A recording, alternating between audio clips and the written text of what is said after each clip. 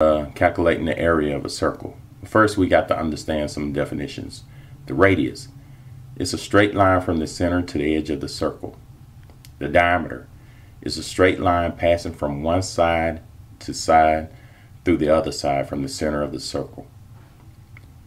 Pi is the number that equals to approximately 3.14.5. It is the circumference of any circle divided by its diameter. So the area of a circle is A equals pi radius squared. So let's do an example here. The diameter is 12 inch. If you want to find the radius, which is half the diameter, you go 12 divided by 2, which is equals to 6. So the radius is 6.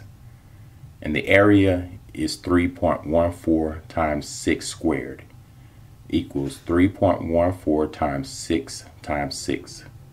So 3.14 times 36 equals 113.09 inches squared.